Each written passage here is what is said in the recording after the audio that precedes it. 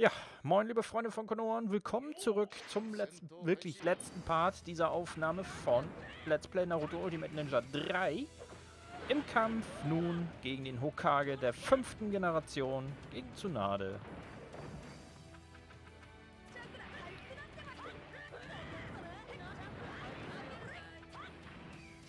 Spielerschuss klingt toll. Tolle Technik. Ach ja, und übrigens am Rande wünsche ich allen da draußen frohe Weihnachten, denn wir dürften heute, zum Zeitpunkt der Ausstrahlung, dürften wir den 24. Dezember haben, also den Heiligen Abend. Ich hoffe, ihr genießt den Tag. Vor allen Dingen, wenn ihr euren Arbeitstag durch habt. Manche müssen ja an den Tag noch arbeiten. Gut, über Weihnachten müssen auch manche arbeiten, das ist richtig. Aber der Einzelhandel hat da zum Beispiel nicht offen. Alter, die schießt uns quer über die Arena. Jedenfalls frohe Weihnachten euch da draußen.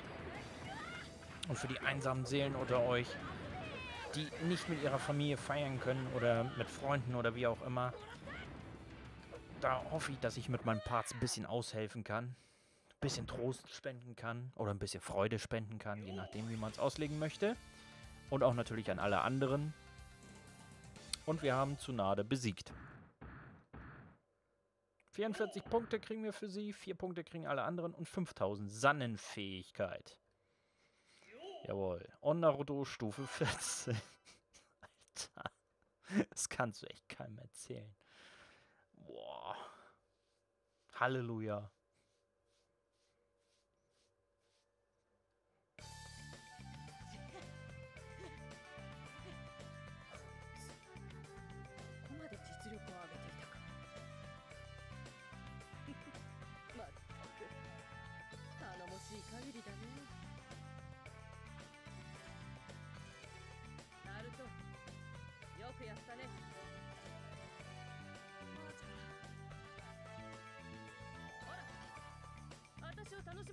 Für die hervorragende Unterhaltung, genau. Die halbe Arena wird auseinandergenommen, aber vielen Dank für die hervorragende Unterhaltung. nee, ist klar. Du hast geheimnisvolle verschlüsselte Nachricht Nummer 1 erhalten. Okay.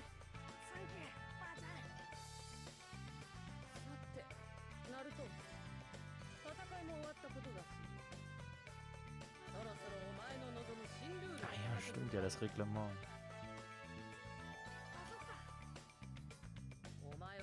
Na, ich bin mal auf ihre Reaktion gespannt.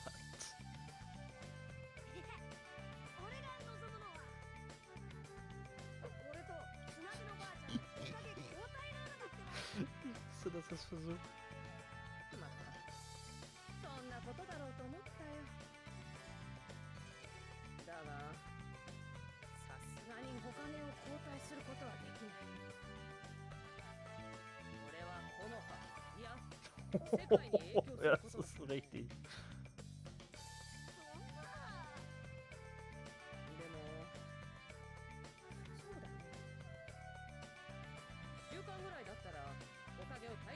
Praktikum Sokake.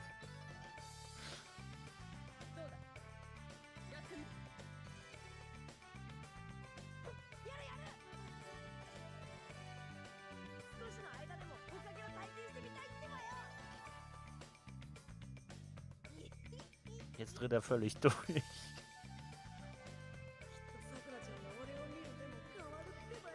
Komm, du findest eine viel bessere, äh, Naruto.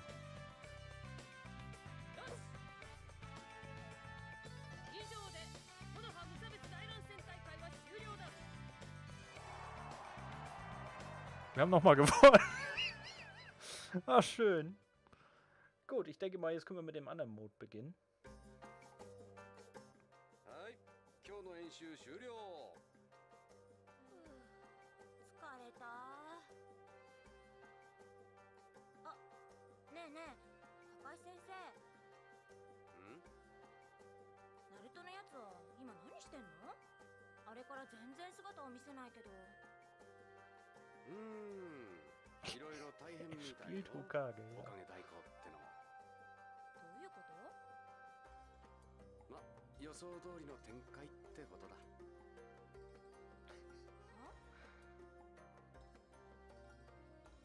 Er mit seinem Flirtparadies, ey. oh Mann.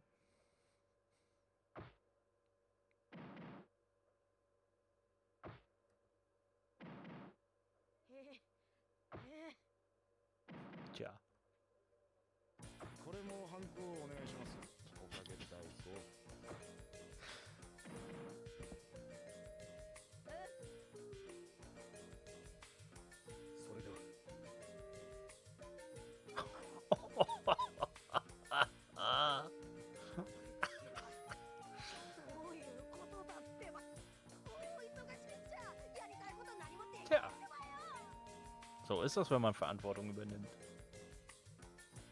Ich kündige. ja, schön.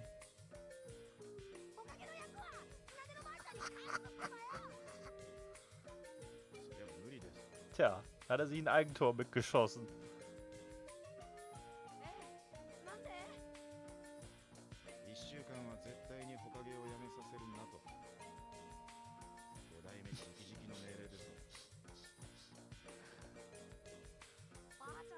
quasi eine Belohnstrafung.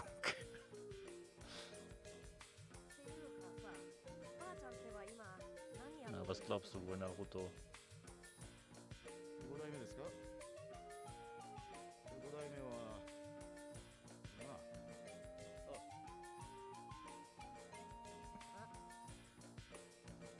Naruto versteht wieder nur Bahnhof, wie immer.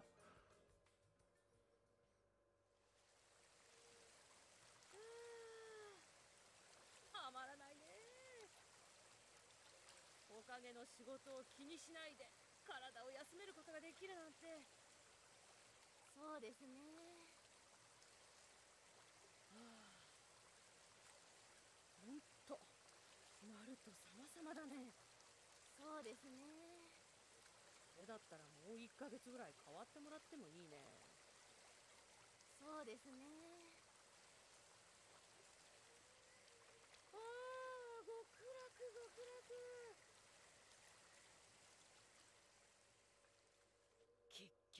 局こういうオチなのかよばあちゃんそりゃねえってばよ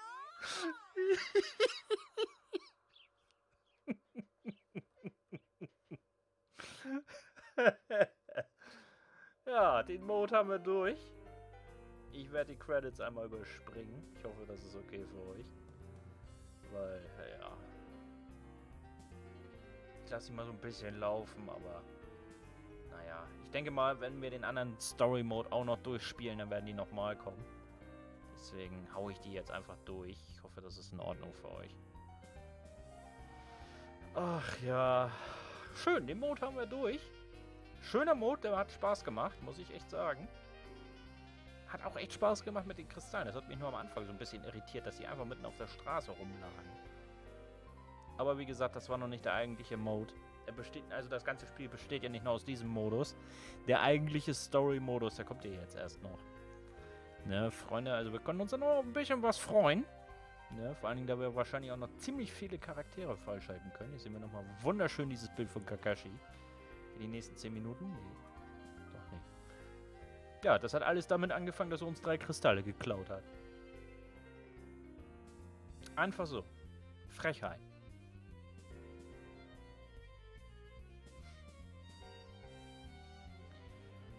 Ach ja.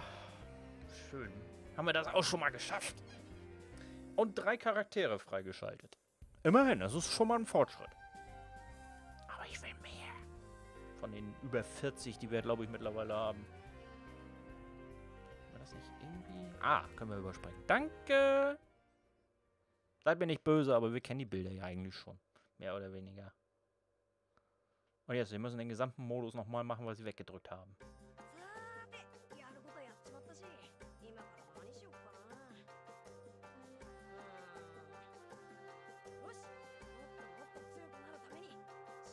Ja, okay, die Mission könnten wir theoretisch auch noch machen. Von jetzt an bist du in einem freien Modus. Bewege dich in Konoha-Dorf umher und konzentriere dich auf Mission oder Jutsu-Training. Anbu Kakashi steht nun im Versus-Duell-Modus zur Verfügung. Ach, es gibt wieder Secret-Figuren, okay. Die grüne Bestie steht nun im Versus-Modus zur Verfügung. Du kannst jetzt Ambu Kakashi im ultimativen Wettkampf anpassen. Den kennen wir auch schon aus dem zweiten Teil. Maske der Anbu erhalten. Uh. Kannst jetzt die grüne Bestie im ultimativen Wettkampf anpassen. Anpassungsitem Machtanzug erhalten.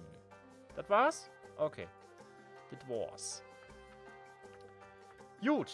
Dann würde ich mal sagen, speichern wir und dann gehen wir zurück ins Hauptmenü, um dann tatsächlich die letzten knapp 10 Minuten, das lohnt sich eigentlich gar nicht, aber egal, werden wir dann schon mal den Story-Modus beginnen. Würde ich vorschlagen. Ja, speichern brauchen wir eigentlich nicht, weil haben wir gerade schon. Gut, dann haben wir den Modus schon mal durchgespielt. Sehr schön. Aber das war ja noch nicht alles, Freunde. Gucken wir uns erstmal an, wie das, äh, wie der Versus-Mode aussieht jetzt. Irukas Training, das funktioniert wahrscheinlich genauso wie immer.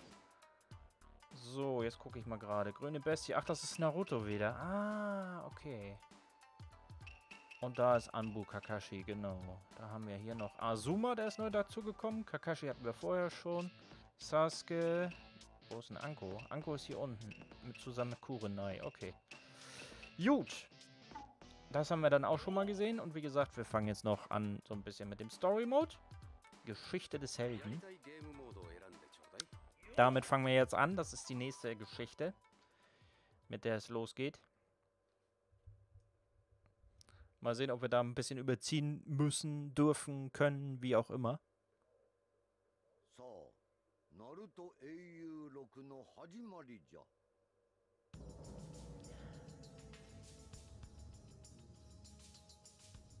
昔ようこありけ。その狐九つの王あり。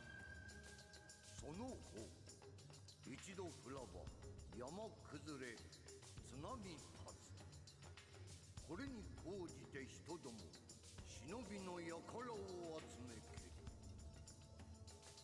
わずか一人が忍びの者生死をかけこれを封印せしめるがその者死にけりその忍びの者名を四代目ほかげと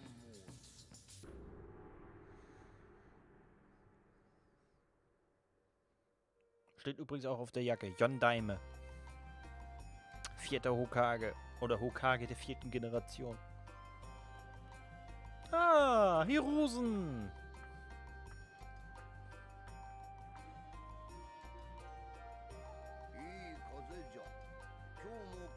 Ungewohnt, den alten Mann jetzt wieder zu sehen. Fangen die jetzt von Anfang an nochmal an?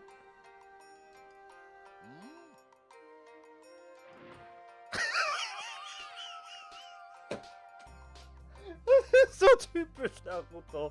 Das ist nicht wahr, ey, Alter.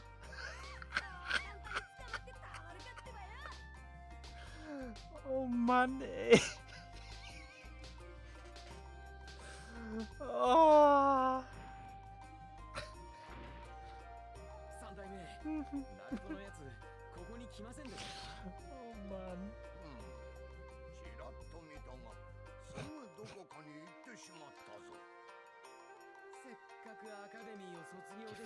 komplett von vorne an, okay.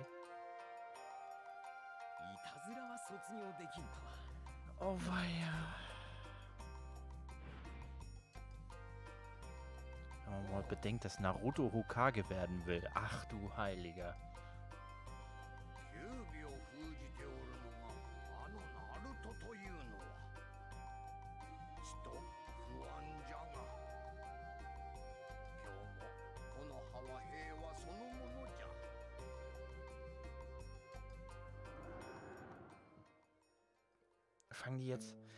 Okay.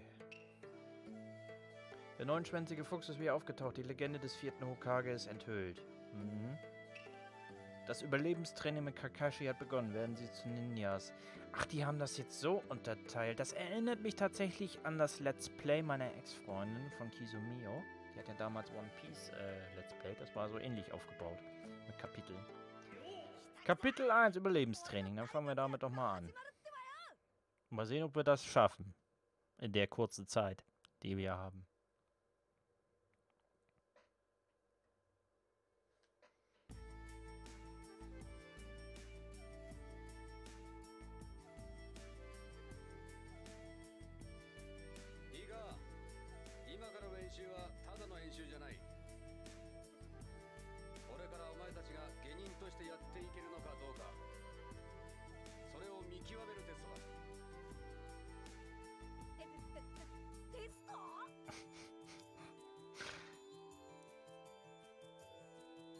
卒業生27名中下人と認められるのはわずか9名。この演習は脱落率66%以上の超難関試験だ。こんなとこで落とされてたまるか！さーてそれじゃあサバイバル演習開始だ dürfen wahrscheinlich alle drei erstmal gegen Kakashi antreten. Ich glaube, das hat, hatten wir das im ersten oder im zweiten? Ich glaube, im ersten war das. Im ersten Teil war das mal so. Also dürfen wir jetzt quasi die gesamte Geschichte nochmal neu erleben. Finde ich gut. Finde ich tatsächlich gut, muss ich sagen. Gut, dann treten wir Kakashi doch nochmal ein bisschen in den Hintern, wa?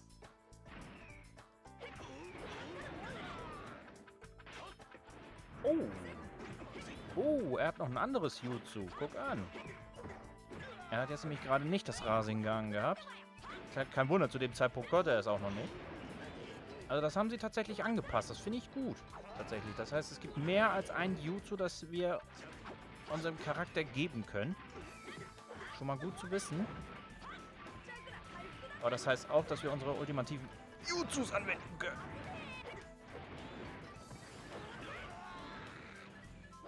Bin mal gespannt, wann wir speichern dürfen. Ob wir überhaupt speichern dürfen. So, das war der erste Kampf.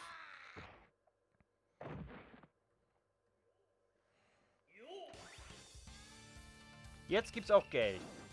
Jetzt gibt's Geld. Okay. Die Straße nach Genen. Ja, das ist auch gut. Sehr schön. Die Straße nach Genen. Ist mir übrigens auch schon aufgefallen. Vorhin war das ja zusammengeschrieben, sonst haben sie immer so einen Bindestrich zwischen.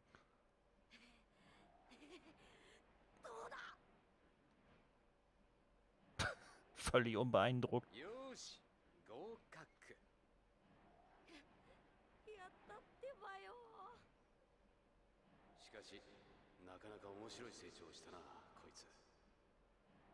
Du kannst jetzt Kakashi Hatak im ultimativen Wettkampf anpassen. Du hast Anpassungs-Item Flirtparadies erhalten, ernsthaft. Was? Das war alles? Okay, dann machen wir das zweite Kapitel gleich hinterher. Achso, da haben sie jetzt jeden einzigen Kna äh, Kampf. Äh okay. Ja, gut. Ich habe jetzt übrigens den Text nicht gelesen, das tut mir leid. Entschuldigung. Mache ich beim nächsten Mal. Ja, das reicht der Wellen.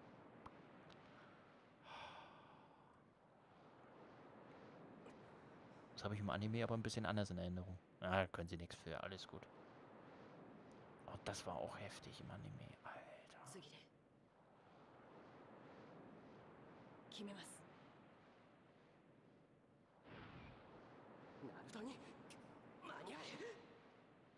Hm. Sasuke wirft sich zwischen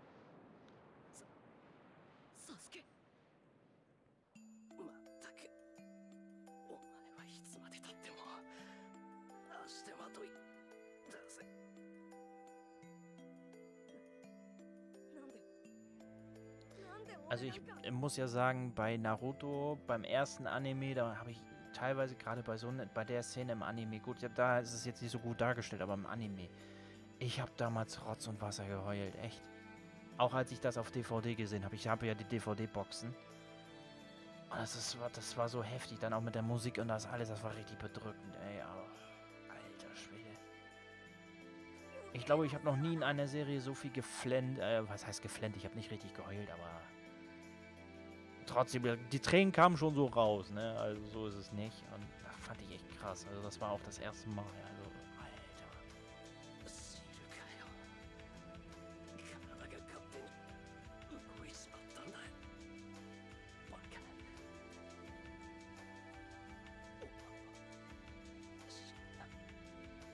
Das Einzige, was mich bei, bei den deutschen bei der deutschen Synchro halt gestört hat oder auch immer noch stört, ist die Zensur.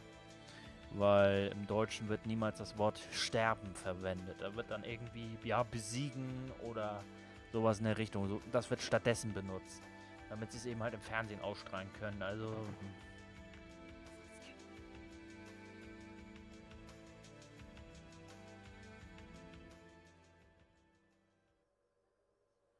Nakamano-shi? これが忍びの道ですよ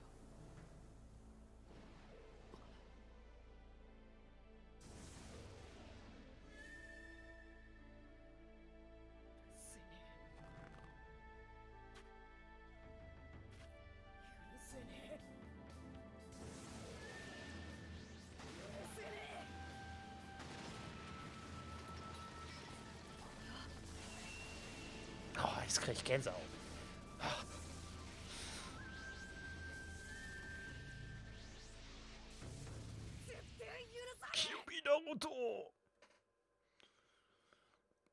Das Kapitel machen wir noch, dann ist auch Feierabend für heute. Es gibt auch tatsächlich Szenen, und das war auch gerade diese äh, Szene, als der Neunschwänzige sich zum ersten Mal zeigt, der QB. Da habe ich so Gänsehaut gekriegt, vor allem wenn die Musik dazu lief. Oh, ich habe so Gänsehaut gekriegt. Alter Schwede, selbst an Stellen, wo ich gar nicht wusste, dass ich da Gänsehaut haben kann. Ich weiß zu viele Informationen, aber es, ist, es war echt so. Ich habe so hart Gänsehaut gekriegt. Alter Schwede. Das hat Masashi Kishimoto so geil hingekriegt. Alter Schwede. Ho, ho, ho. Ja klar, beim Musik hat er wahrscheinlich Hilfe, das ist klar. Ihr wisst, wie ich das meine.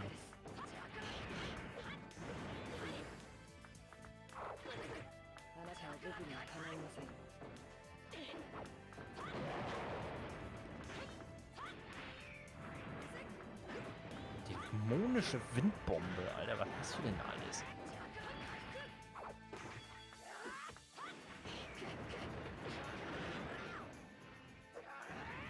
Denke mal, dass wir Haku dadurch jetzt auch sogar noch freischalten. Haku hat nämlich ein ganz besonderes Kekke Genkai damals gehabt, nämlich das Eisversteck.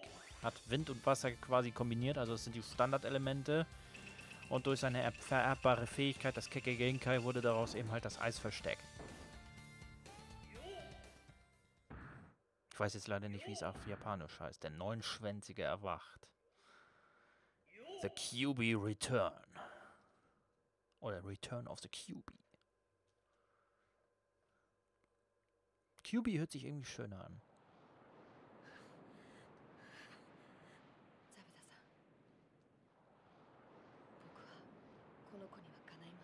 Genau, da ist seine Maske kaputt gegangen bei.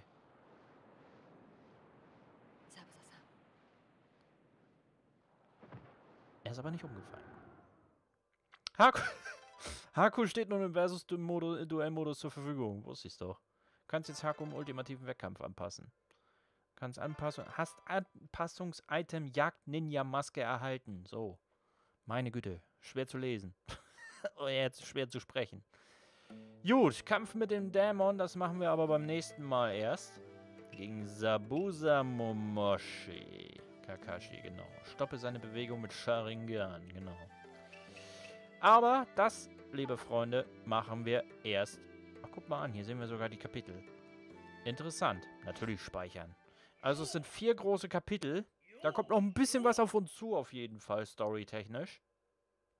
Ob ich das mit den Items und das alles mache, das weiß ich noch gar nicht. Da schauen wir mal. Liebe Leute, ich bedanke mich bei euch, dass ihr dabei gewesen seid. Auch heute wieder, auch bei dieser Aufnahmesession. Wie gesagt, ich wünsche euch schöne Weihnachtsfeiertage. Lasst euch reich beschenken, esst fleißig. Und danach fleißig abnehmen ist angesagt. Das kennt ihr ja, das Prozedere. Was ist eigentlich der Pausenraum? Ach, Minispiele, okay. Und äh, ja, wir sehen uns dann beim nächsten Mal wieder, wenn es wieder heißt Naruto Ultimate Ninja 3. Dann aber mit der Story, mit der Geschichte des Helden und nicht mit dem ultimativen Wettkampf. Und ich sage nun einfach, euer Laster, ciao. Auf bald. Bis bald. Und tschüss. Und vor allen Dingen, bleibt mir gewogen.